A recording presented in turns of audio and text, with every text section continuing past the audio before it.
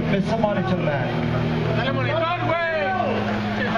Can you put some can you put some vocals in here? Mr. Monitor Man. I don't know his name. Can you call him?